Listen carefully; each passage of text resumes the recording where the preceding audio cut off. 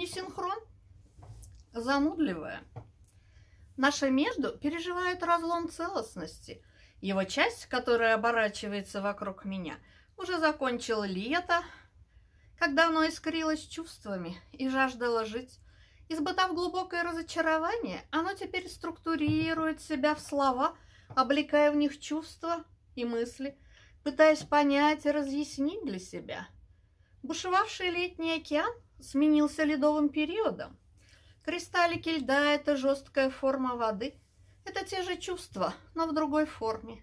Для между это еще не зима. Это оседающий на дно океана опыт, сухой остаток, да.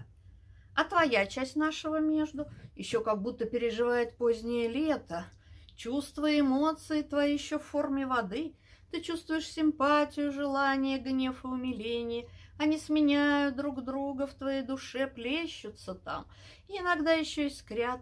Ты разговариваешь с Создателем и спрашиваешь у него, зачем и за что – и почему, что мне делать теперь и прочее, прочее, прочее. Создатель слушает тебя и молча целует у макушку. На ночь. А наше между, меж тем, хочет вернуть свою целостность, которая придаст ему его прежнюю силу, хочет синхронизировать наши потоки, но как и возможно ли это?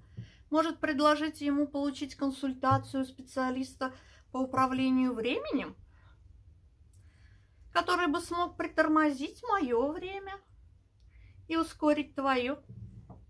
Или же ему проще стряхнуть меня и тебя, очиститься и пойти по своим делам. Не синхрон, занудливая.